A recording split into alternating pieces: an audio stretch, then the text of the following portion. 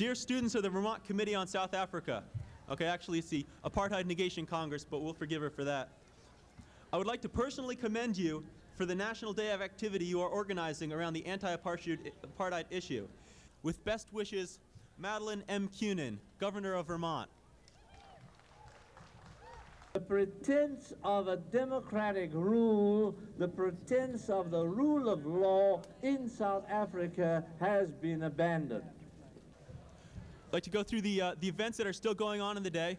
Ongoing films are being shown in uh, 111 Royall Tyler Theater. That's downstairs.